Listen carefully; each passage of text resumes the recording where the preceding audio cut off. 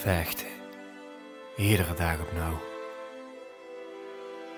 Tegen de honger. De kooi. Tegen de Fransen. Het stikje van de Fransen. Overal waar je kijkt zie je Franse soldaten. Ze vreten, ze plunderen. Ze nemen ons alles af. Alles.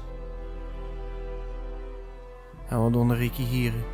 Onze bestuurders. Niks. Helemaal niks.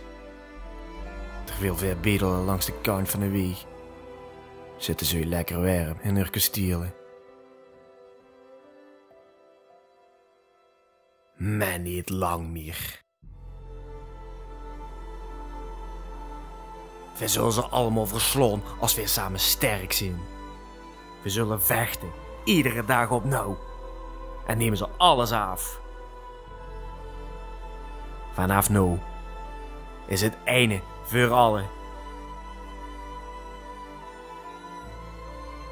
En alle voor ene.